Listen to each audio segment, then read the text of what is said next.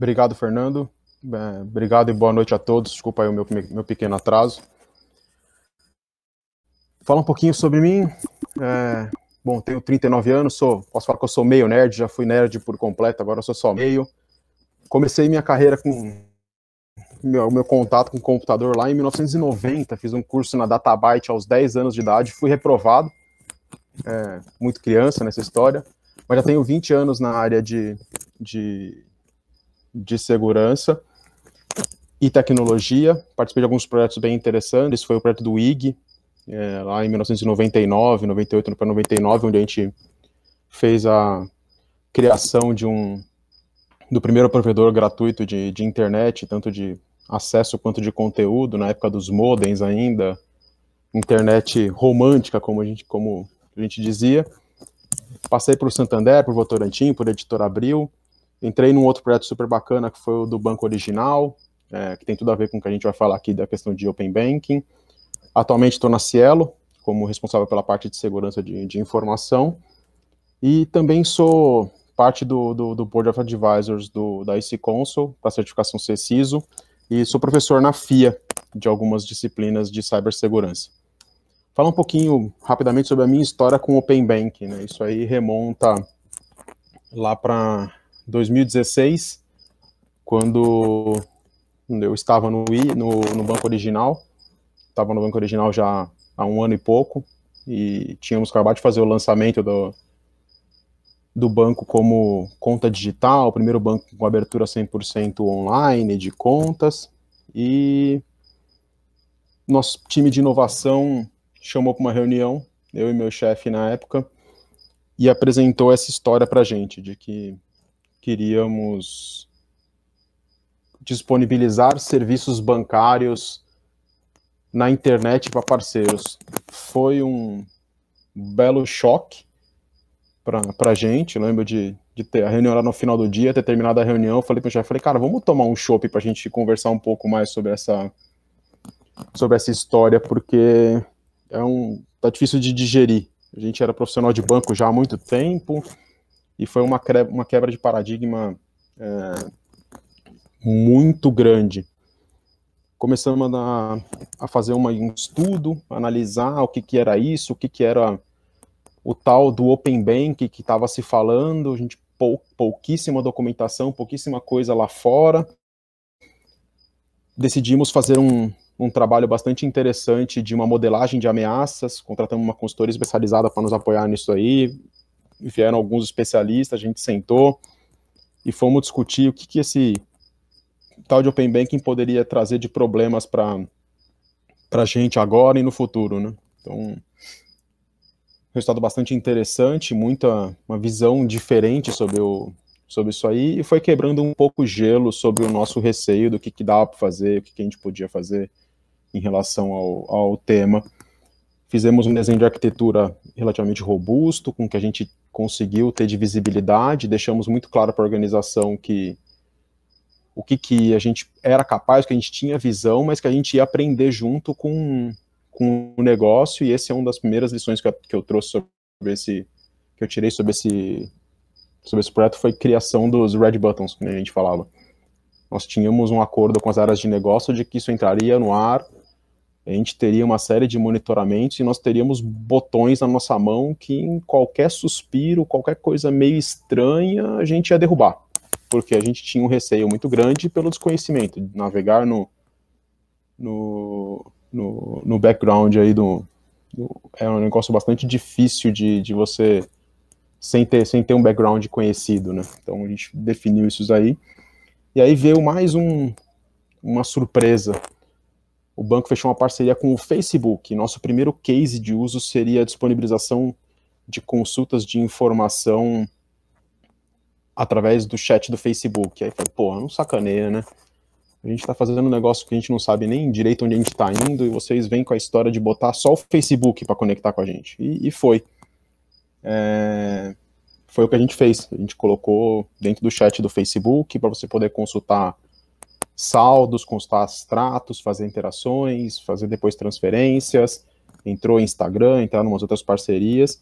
E nós criamos um modelo bastante interessante também de é, avaliação de possíveis parceiros, que era um grande receio que a gente tinha, assim, quem que vai querer ser parceiro nosso? Quem que a gente vai esperar do, do, do outro lado? Então, foi um, foi um, um processo e um projeto bastante interessante, com resultados bastante, bastante legais, e de lá para cá eu venho trabalhando bastante a parte de Open Banking, é, é um tema que me interessa bastante, como eu falei, eu sou professor na FIA, a FIA tem um curso de de extensão de formação de líderes em cibersegurança e eu falo sobre a segurança de Open Banking e APIs dentro desse curso. Já palestrei no, no CIAB, na FutureCon sobre, sobre o assunto. É, um, é, uma, é um negócio que me atrai bastante e eu acho que é, que é um caminho bastante legal que todo mundo está tá, tá trilhando. O falar de Open Banking não tem como dissociar aqui do PSD2. O PSD2 foi o grande impulsionador do, do, do Open Banking. Isso, Open Banking nasceu na Europa, né, uma iniciativa que, que veio como resposta ao PSD2 na Europa. O PSD2, para quem não sabe, ele é, é uma diretiva de, do, do mercado do, do Banco Central Europeu que fala sobre a disponibilização de dados é, bancários, dados financeiros e o compartilhamento de, entre as instituições financeiras sobre essa, esses dados. Uma vez que os dados são das pessoas, eles fizeram essa essa proposta muito alinhada ao que era o GDPR, né? E, e aí surgiu essa necessidade lá em 2015 e eles começaram a entender esse conceito. Tinha como target entrar aí no ar em 2018. Não era opcional, era obrigatório para todo mundo, então a, o mercado começou a se movimentar e começou a, a, a falar sobre o assunto, e os nossos amigos britânicos é, avançaram rapidamente nisso aí, e, e tem uma, uma organização que é o Open Banking Standards, que, que foi na linha que a maioria das, da, da, dos países depois acabou seguindo, que era vamos definir um padrão para isso, porque não faz o menor sentido eu obrigar, do ponto de vista de negócio, eu obrigar que todo mundo tenha APIs e tenha acessos compartilhados, disponibilizados para uso, se eu não tiver um padrão e cada um escrever o seu. Vai ficar uma bagunça, vai ser muito difícil, então eles, eles fizeram esse, esse consórcio e, e deu uma, um driver bastante interessante nisso daí, e já aproveitaram para evoluir um pouco mais. Uma vez que a gente estava falando sobre compartilhamento de dados, por que não fazer negócio com isso? Então eles partiram por uma linha de, de business mesmo, e, e, e foi o que fez com que surgisse esse conceito de Open Banking que a gente tem mais, mais forte hoje. Rapidamente aqui, o que, que é o Open Banking? Eu trouxe duas definições, uma do, do próprio Open Banking Org UK, que é é a questão de você prover acesso a informações financeiras de uma forma segura. Eles falam bastante sobre seguro, seguro, informação segura, compartilhamento seguro, acesso seguro à informação. E também trouxe aqui um, um, um trecho do comunicado do Banco Central, que o Brasil também não ficou de fora disso daí.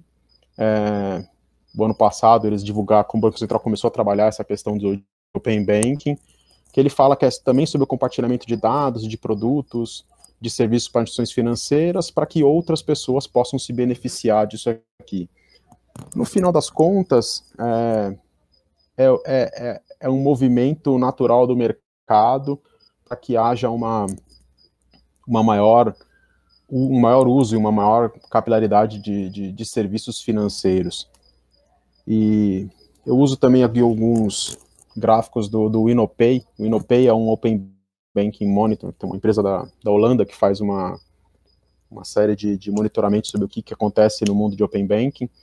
E é interessante ver aqui que a gente remonta até a mais, antes ainda de, de se falar até do próprio PSD2, já tinha gente na Europa brincando de Open Banking. Aí você vê o Credit Agricole, que desde 2012 já tem isso daí, BBVA. Aí você vê que no, do meio de, do começo de 2016 para frente, a coisa começou a ganhar mais corpo e eu destaquei aqui os dois brasileiros pioneiros nessa, nessa frente, o Original e o Banco do Brasil, para mostrar que a gente não é tão, tão índio assim, né? A gente é, nosso sistema financeiro é bem robusto e a gente está sempre na, na, vanguarda junto com, com as outras empresas e hoje já tem um volume muito maior de gente trabalhando essa, essa frente, mas a grande maioria delas ainda focado no mundo, no, na, na, Europa, né.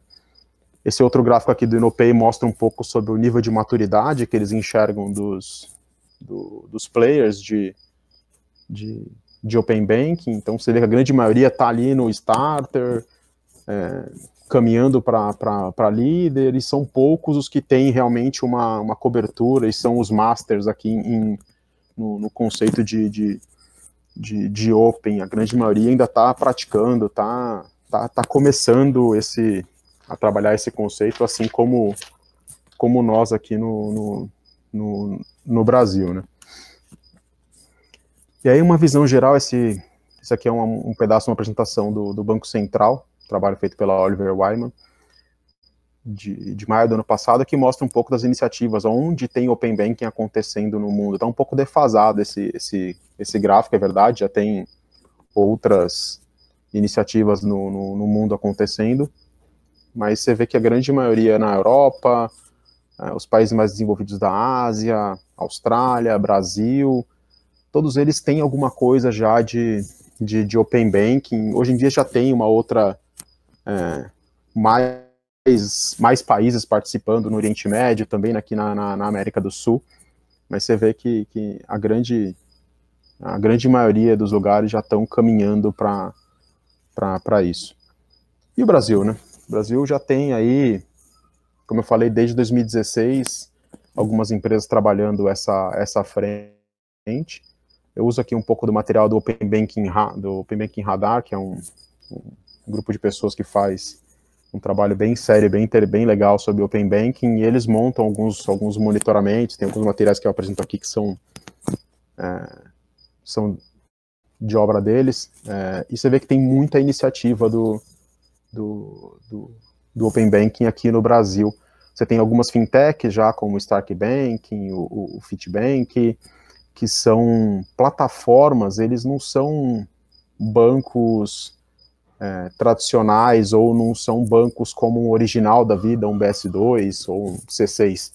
Eles são bancos para serem plataformas, eles não querem abrir conta para clientes, eles são bancos que querem ser open banking mesmo, eles têm um conceito diferente para isso, né? Eles ficam são plataformas de banco. Aí você vê outros players como a Stone, que não é um banco, é uma empresa de pagamentos, mas ela também presta serviços bancários, os, os próprios bancos tradicionais, Itaú, Banco do Brasil, Bradesco, todo mundo se, se, se mexendo nessa, nessa linha de, de, de ser um open banking, porque todo mundo enxerga valor de negócio para isso. E, e, enxerga valor de negócio por quê, né? Assim, acho que principalmente por conta disso aqui, ó. Esse radar do, do Fintech Lab também é relativamente antigo, é do meio do ano passado, a gente espera que tenha uma atualização dele agora no meio do ano. E ele mostra que a gente tem um ecossistema de mais de 500 e quase 600 fintechs no, no, no Brasil. E são esses os caras que estão ávidos principalmente para o Open Banking. Ser um banco custa muito caro. É, licença de banco é caro, estrutura de governança e de controle de banco é caro, e para uma fintech isso é inviável. Mas por que não uma fintech se aliar a, a um banco e de uma forma segura e estruturada prover serviços financeiros? É, acho que esse é o caminho que o Open Banking abre e que é onde essas empresas aqui do radar estão tão bem, bem interessadas no, no, no assunto. E até ilustrando um pouco aqui, nesse, nesse quadrante aqui onde a gente tem as, as empresas de gestão financeira, tá, os, os famosos PFMs, eles ilustram muito bem o que, que é possível de fazer com o Open Banking. Hoje você tem um PFM onde você consegue cadastrar suas contas bancárias, e aí eu estou abstraindo as questões de segurança nesse momento para falar se é seguro, se não é fazer, ou não fazer isso, mas o conceito de, de PFM onde você tem um centralizador das suas contas bancárias, todo mundo que tem conta em banco tem conta em um, dois, três bancos, e você tem uma visão centralizada disso. Porra, super legal, né? Mas é feito da forma segura? Como que essas empresas obtêm esses dados? Como elas armazenam? Como é que... é um negócio que ainda é muito muito incipiente. E o Open Banking ele vem para facilitar isso. Quando você tiver um ecossistema de APIs prontas e, e, funcionando, você já consegue fazer isso de uma forma segura e com o controle na sua mão. É bom para ambas as partes. É bom para o cliente, é bom para a fintech, para a empresa de PFM, é bom para o banco, porque também movimenta. E aí essas, esses, esses PFMs eles podem dar um passo adiante. Eles podem fazer uma monitoração da sua saúde financeira e te oferecer um empréstimo é, em parceria com um banco, em parceria com uma financeira, ou eles podem oferecer um investimento para você, você está com dinheiro parado na sua conta, eles, eles podem oferecer diversos outros produtos bancários para você, tudo isso através de Open Banking. Só que para que isso aconteça, é necessário que haja uma regulação. Isso não pode sair isso não tem como, como nascer sem uma, uma, uma regulação e uma força do Banco Central. O Banco Central tem um papel muito importante nessa frente e ele não ficou parado. Ele, desde o ano passado, como eu comentei, o Banco Central veio como regulador e falou: não, a gente vai, vai trabalhar é, fortemente nisso aqui. Montaram um grupo de, de trabalho com, com os principais players do mercado, com os principais bancos, e, e começaram a fizeram uma consulta pública que terminou agora recentemente, e agora já definiram um calendário, um cronograma de implantação do Open Banking no Brasil mesmo. O conceito é muito parecido com o que tem de Open Banking no, no, no na Europa, disponibilização de forma faseada de algumas, primeiro de acesso a dados e transações de, de o histórico do, dos clientes para depois passar para uma para uma parte que eles chamam de iniciação de pagamentos, mas é uma TED, é uma transferência, são, são, são esses tipos de, de serviço, e depois eles abrem lá, isso aí, já mais final do próximo ano, para os demais transações, para os demais produtos financeiros, mas nada impede de que as, os bancos forneçam isso de uma forma antecipada. Então, o que, é, o, que o banco, o, esse calendário do Bacen, ele é muito útil para nortear, mas acredito que vai acontecer alguma certa antecipação é, disso daí. É, esse material também é daqui do Open Banking Radar, o Luiz Nunes faz um, algumas coisas muito interessantes, dá os créditos todos para ele. E o ponto interessante aqui sobre o Open Banking é que ele se torna obrigatório, por pedido do Banco Central, para os bancos que são os considerados S1 e S2, são os bancos grandes, né? Então, aqui embaixo você vê uma listagem de quem são os obrigatórios, mas ele é aberto para os demais. Então, os outros, as outras empresas, outros bancos que quiserem fazer parte do ecossistema de Open Banking, pode, é, sem nenhum empecilho. A única é, obrigação que o Banco Central coloca é reciprocidade. Então, uma vez que você entre no ecossistema de, de Open Banking, você tem que também disponibilizar o, o, os seus dados e disponibilizar as suas, as suas informações, os seus produtos, seguindo as, as obrigações que, que, que a regulação coloca, para você poder fazer parte do, do brinquedo. Acho que é justo. Todo mundo que quer se beneficiar tem que compartilhar também ah, as, suas, as suas informações. Então, é um movimento que o Banco Central já vem forçando há um certo tempo, com o objetivo de gerar maior competitividade, de, gerar um, de fomentar mais o, o, o nosso sistema financeiro. Então, uh, outras, uh, tem outras frentes de pagamento instantâneo, coisas que eles estão colocando, acho que já vão fazer grande parte uso dessa, dessa estrutura de Open Banking, para que nosso sistema financeiro, que já é um negócio bastante robusto, tenha uma capilaridade maior e nós, como cidadãos, sejamos mais beneficiados é, em termos de oferta, em termos de possibilidades é, como, como, como pessoas. Acho que nesse sentido é bem, é bem interessante e a gente vislumbra grandes possibilidades de, de, de evolução para isso. Está se trabalhando a, a FEBRABAN e os grupos de ABBC, de outras associações de, empresas financeiras, todo mundo está trabalhando também para que haja uma autorregulação do ponto de vista técnico, para seguir o modelo que está acontecendo na Europa, de que hajam estándares, hajam padrões para que você possa fazer essa disponibilização de serviços de uma forma padronizada para evitar a bagunça de cada um fazer o seu do seu jeito e a gente no final das contas como empresa cada se tornar muito complexo para fazer a, a, a conexão e, e, consumir esse tipo de coisa.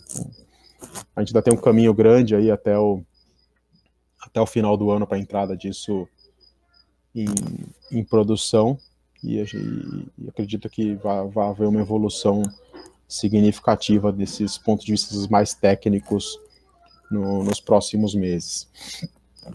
E não podia deixar de falar da nossa amiga LGPD, né? Como é que fica a LGPD nesse negócio? Prometo que você super sucinto em relação a esse assunto. Já está bastante calejado. Tem uma frase que é colocada no primeiro no, no comunicado oficial de lançamento do Open Banking pelo Banco Central que diz que ele está ele tá em linha com o que é a Lei Geral de Proteção de Dados, uma vez que, que o Open Banking é, possibilita com que os donos dos dados sejam é, é, realmente donos deles e possam fazer uso dessas informações de uma forma consentida. Então, você, para fazer parte do, do Open Banking, você vai ter que autorizar que seus dados sejam compartilhados com a empresa A, com a empresa B, com a empresa C, com qualquer um que, que, que, que esteja fazendo parte do ecossistema. Então, isso já atende o LGPD e, e um problema a menos para a gente pensar nesse momento de uma forma simples. Acho que os problemas que isso pode trazer no, no, no futuro para nós, como profissionais de segurança, são outros. É, uma vez que eu compartilho os meus dados com uma outra empresa, e se esse dado vazar? Quem que é o responsável por ele? Eu ou a outra empresa? O que, que vai sair na mídia? Então acho que ainda tem algumas coisinhas que o LGPD vai vai pegar para a gente trabalhar ao longo do, do, do tempo, mas o, o, Banco Central está trabalhando para que isso já, já nasça de uma forma que, que atenda aos requisitos de, de LGPD. E aí vou entrar aqui nesse, nesse slide onde eu vou ficar até o final da quase da apresentação, que é um desenho de arquitetura de referência para para Open Banking, né? O pessoal tem diversas possibilidades, mas esse, esse mapa aqui ele é bem interessante porque ele mostra o ecossistema inteiro de Open Banking e o que, que a gente tem para para pensar de segurança, o que, que a gente tem que fazer de segurança. Eu prometo que eu não vou, ser, não vou se me aprofundar tecnicamente, até porque eu acho que eu já não tenho mais tantos neurônios nessas, nessa, nessa linha, vou, vou, me, vou me atentar mais, vou, me, vou ficar mais aqui na, na questão conceitual de o que, que, que, é, que compõe essa arquitetura de referência, o que, que a gente pode e que a gente deve se preocupar em relação a, a, a isso. A gente veio emaranhado de siglas aqui, eu vou fazer um highlight em algumas delas para a gente gastar um pouquinho de tempo e falar sobre as preocupações em relação a isso. Acho que a primeira delas é a questão da segurança das APIs, né? Assim, como é que a gente garante essa segurança? Como é que a gente expõe uma API para a internet de forma segura? É o que deu lá o calafrio em 2016 quando eu comecei a, fa a falar sobre isso e acho que é o, é, um, é o é o nosso gateway aqui, é o tal do gateway de API, é o cara que está exposto para fora, é um, é, é, um dos principais é, orquestradores, é uma das principais referências de, de segurança para esse ambiente. Então, a gente tem tecnologias hoje bem maduras no mercado de gateways de segurança, que tem como funcionalidades básicas expor as APIs, mas que eles também trazem para nós uma série de funcionalidades de segurança, eles atuam como camada de proteção.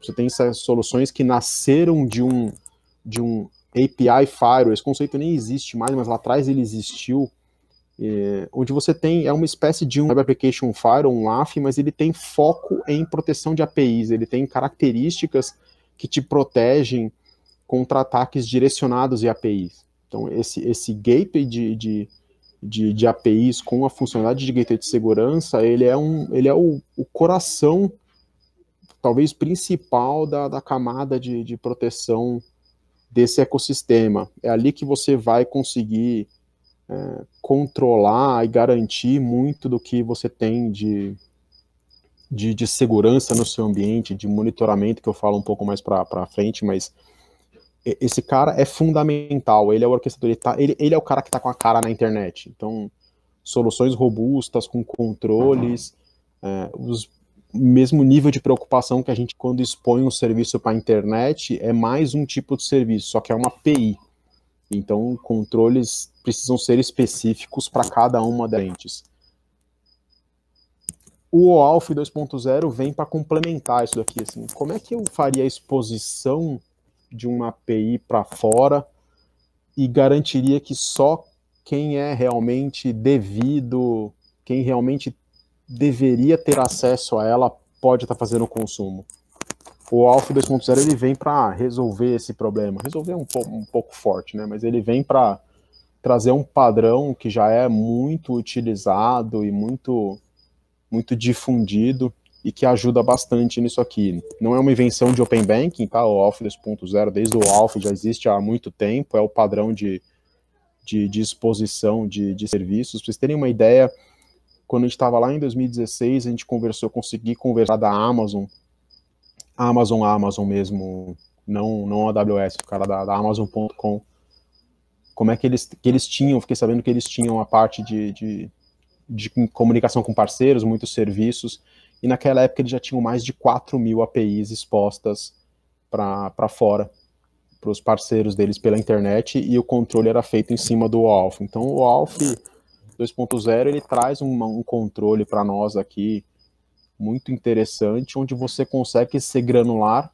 e ter o controle para garantir que, putz, olha, eu tenho aqui minhas APIs todas, mas o parceiro pode fazer uma consulta de saldo, ele não pode consultar extrato, o cliente não autorizou que esse parceiro implementação do, do Open Banking em cima do, usando como padrão do, do OAuth, ele traz essa flexibilidade para nós como empresas possamos criar o, o, as parcerias de uma forma granular e que ela no, no nível mais abaixo, na ponta, possa possibilitar, possa ter a possibilidade de, de ser granular e definir o que, que esse parceiro pode fazer para você.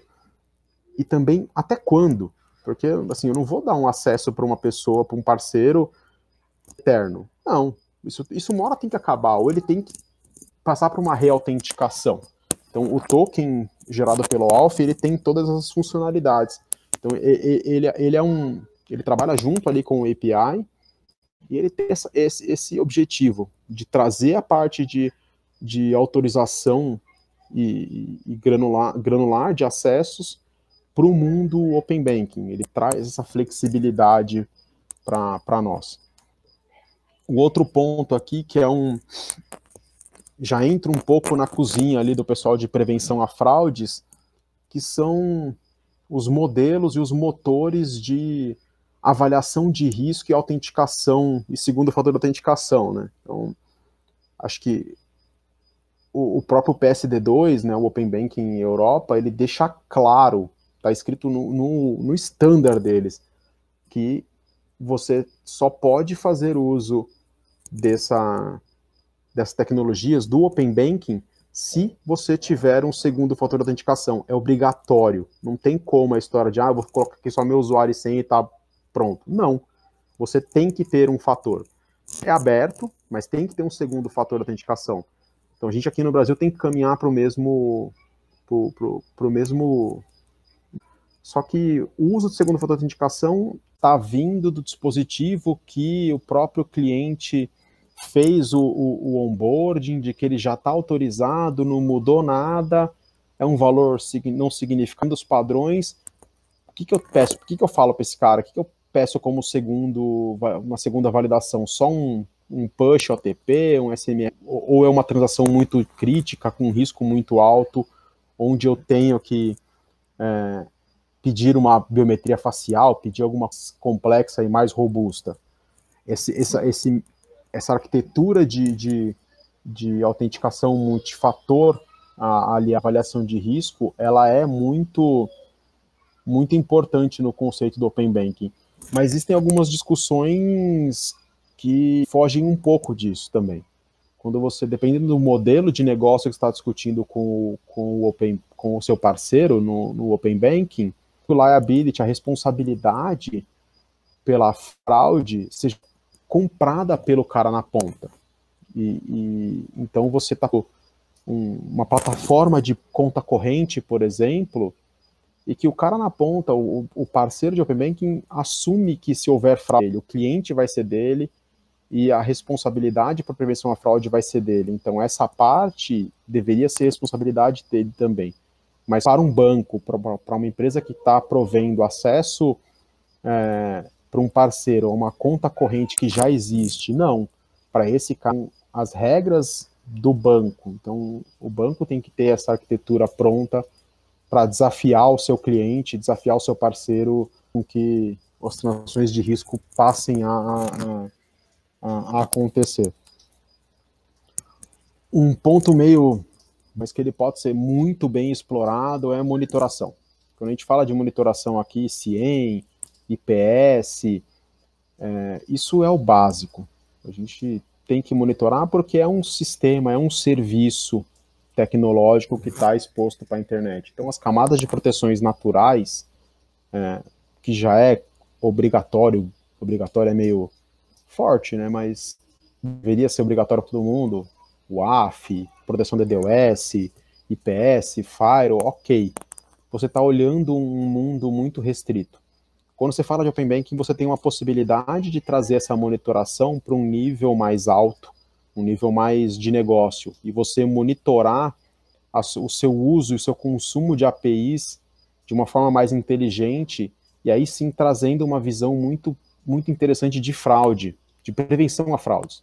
Você tem uma arquitetura, você tem ali na mão é, um parceiro que está que tá conversando com você, qual é a característica daquele cara, qual é o threshold que eu tenho aqui é, definido e que eu posso explorar isso para identificar um comportamento malicioso. Um parceiro que não que tem uma volumetria específica de uma hora para outra deu um pico acontecendo e sair um pouco da caixinha segurança por segurança, mas dá um avançar para a parte de prevenção a fraudes. A gente tem muita informação, a gente tem uma visibilidade muito boa das coisas, então usar isso como sendo é, um, um, serviço adicional que a gente pode colocar dentro do nosso, do nosso CIEM, do nosso SOC, para e trazer benefício para a empresa. Um outro ponto que é básico, mas é uma preocupação muito grande, é a parte de aplicações, o DevSecOps. Pô, a gente vai expor API na internet. Então, isso tem que ser construído de uma forma segura. O nível de risco que a gente está expondo à organização, ela fica muito grande. Imagina se você expõe um serviço de fazer TED e você não faz uma validação de, de controle de sessão para garantir que somente aquela, aquele, aquela sessão consegue manipular dados e fazer transações daquele determinado cliente. E você tem uma falha desse tipo, e alguém descobre isso, o cara faz TED. Assim, a gente está expondo serviço financeiro de uma forma muito muito clara para fora da, da organização, onde normalmente ficava muito restrito dentro dos internet banking, dos mobiles, dentro de casa, era um negócio mais mais contido. Agora não, agora eu estou dando uma chave para um parceiro fazer isso. Pô, eu tenho que pensar muito bem a segurança dessas APIs, a segurança dessas, dessas do que vai estar sendo exposto para fora, para que a gente não cometa os mesmos erros que a gente cometeu no passado de expor serviços de forma até insegura. Isso, esse, esse, esse ecossistema ele tem que nascer de uma forma mais blindada pelo nível de exposição que isso pode trazer para a gente. E um último ponto aqui, que para mim acho que é o mais desafiador de todos, e é legal. Como é que eu garanto a segurança de um parceiro? Isso já é um parto para a gente é, para a gente conseguir fazer hoje. Desculpa, só, só um minutinho.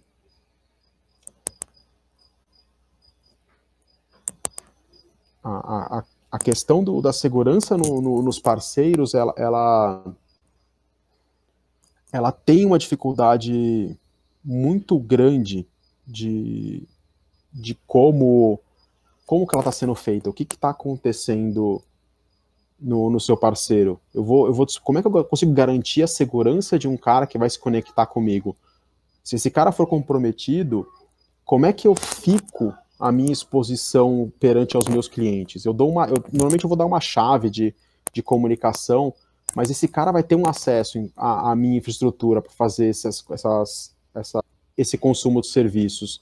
Então eu estendo a minha, a, o meu perímetro de segurança para um terceiro, para um parceiro. E, e, quando você vai para techs, nem todo mundo tem uma, uma, uma garantia, uma robustez de segurança como um outro banco. Então essa dificuldade que a gente vai ter, que já existe hoje, você já tem uma dificuldade de fazer segurança nos, no, no seu, nos seus parceiros, ela com o Open Banking ganha um peso muito maior.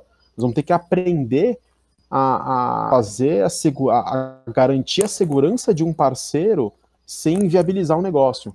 Porque não adianta nada eu querer que o cara tenha o mesmo nível de controle que um banco. Ele não vai ter quase nunca. É uma, é uma fintech, o cara está começando, ele está ali para desafiar. Então, você tem que criar um, um, um mecanismo que permita com que você tenha, ajude ele a ter uma segurança mais, mais robusta, mas que você também não se, não, não se exponha tanto. E aí volto na questão da, da, da monitoração, dos seus controles, do red buttons, que você tem que ter essas, essa flexibilidade para conseguir colocar a cabeça no travesseiro e dormir.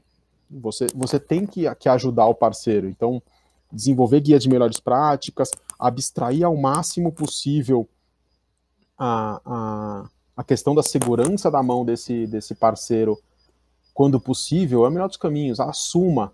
Você, nem que você tenha aqui, no caso de uma aplicação mobile, desenvolver um SDK e falar, cara, quer falar comigo? Põe esse, esse, esse SDK aqui no seu, no, no seu aplicativo e ok, a gente fica mais, mais, mais tranquilo. Mas muitas vezes isso não vai ser possível. Uma aplicação web, o cara não tem como fazer isso. E desenvolver SDK é um negócio complicado está falando de um WhatsApp, de um chatbot, então você tem essa, é, essas dificuldades de trazer a segurança para o mundo do parceiro, mas é que a gente vai ter que aprender a, a fazer de uma forma melhor do que a gente faz hoje. Não é nada passar um checklist imenso para o cara falar, você tem que seguir todas essas boas práticas aqui e todo mundo fingir que está todo bem. Não vai funcionar assim. A gente tem que ser mais, mais parceiro do, do, do cara e ajudar ajude ele tenha segurança, que a segurança dele seja mais, mais robusta e que a gente também tenha uma tranquilidade do nosso lado. Acho que o principal ponto disso aqui é, trazer a tranquilidade para quem é o grande, o grande, o grande impactado, porque se acontecer uma, um, um, incidente, é o que, é que eu comento algumas vezes, é, é um banco e uma fintech pequenininha, uma empresa que não está começando. Você acha que a mídia vai botar o nome de quem em highlight, falando assim, ó, vazaram os dados da fintechzinha ou do bancão? É, acho que no, os bancos e quem tiver o peso maior vai ter que ter uma preocupação muito grande e mais, com, mais robusta nisso aí, porque é o nome deles. O dano de imagem vai acabar sobrando muito, muito mais fortemente para quem para quem tem um maior peso, para quem tem uma reputação maior do que para um pro, parceiro na ponta. Então, é uma preocupação é, que já existe, mas que a gente vai ter que redobrar muito e vamos ter que aprender bastante para poder evoluir nessa, nessa frente. Contratos e todas as outras os artefatos legais que a gente possa criar em relação a isso. E para finalizar, testes de segurança em tudo e sempre. Acho que, que isso já, já deveria ser uma máxima e está no nosso DNA como profissional de segurança, mas essa, esse novo mundo de Open Banking, ele traz isso para a gente com uma força um pouco maior. É muito crítico que a gente está expondo para fora. E, e, e o pessoal do lado negro da força vai estar tá de olho nisso, já está de olho nisso, e eles têm recursos, eles têm tempo, eles têm um objetivo, eles têm funding para descobrir problemas. Então, nós temos que fazer o nosso papel e garantir que o que a gente está expondo para fora passou pelo maior pela maior quantidade, pelo maior, pelo tipo de teste mais criterioso possível para que a gente possa ter o mínimo de segurança desse, desse ambiente e não ser pego por uma coisa muito básica. Controlar o nosso ambiente ao máximo possível para ter visibilidade do que está acontecendo. Testar tudo, tudo e sempre. Cada vez que fizerem um deploy de uma API nova, isso tem que ser testado, porque às vezes, ah, mudei só um, uma coisinha, mas a gente sabe que não é assim. Então, é, de, de teste de segurança, a gente tem que aplicar nesse ambiente, porque é muito crítico. O Open Bank ele traz muito benefício, mas ele traz muito risco. Então, testar, testar e testar sempre. Principal recado que eu, que, que eu trago desde, do ponto de vista de segurança para essa questão de arquitetura. E para finalizar aqui, eu trago uma frase do seu Bill Gates, que é lá de 94, cara. O cara já falava que é, serviços bancários, banking é necessário. Os bancos não. Tem uma relação com um banco eu, eu preciso de um serviço bancário, eu preciso pagar uma conta, eu preciso receber um dinheiro, fazer uma TED, eu preciso de um cartão. Não importa se é do Itaú, do Bradesco, do Origem 6, de qualquer banco, não importa. Eu preciso de um serviço, eu preciso de um app que me fa que faça isso. Se eu puder fazer isso pelo WhatsApp, pelo Facebook, o Perep, tanto faz. Eu preciso do serviço bancário, eu não preciso de um banco. Então, acho que o Open Banking é, é que melhor, tradu melhor traduz o que é Open Banking serviço bancário e não banco. Os bancos entenderam esse recado e eles estão se movimentando e a gente, no final das contas, a gente precisa dos bancos, como eu falei, ser um banco é caro, ser um banco é difícil, ser um banco demanda uma estrutura muito robusta. Então, tem que ter um. Mas eu, como, como pessoa física, o Glauco, eu, pouco importa. Se eu tiver um app que algum dia me fa faça tudo o que eu preciso, isso para mim qualquer banco que está lá por trás, e for cômodo, ok para mim tanto faz. Não, não vai ter essa. Eu não tenho apego a. Eu acho que as pessoas cada vez têm, têm menos apego ao, a quem está por trás. Que a gente tem que ter uma solidez e uma, e uma garantia do, de que o serviço está funcionando, o dinheiro que está ali está sendo bem cuidado. Então, o serviço bancário ele é importante e, e, e o Open Banking está aí para fome com que isso seja melhor utilizado. E finalizo por, por aqui. Uh, agradeço aí. Espero que todos tenham conseguido acompanhar com pequenos percalços aí de, de, de internet, alguns, alguns lags, mas tem meu contato aqui de LinkedIn, estou sempre falando, é, apresentando algumas coisas sobre esse assunto. Sou muito, muito de discutir o tema. Tem, fiquem à vontade para me procurar e para trocar ideias sobre, sobre o assunto. Ok? Agradeço a todos e uma boa noite.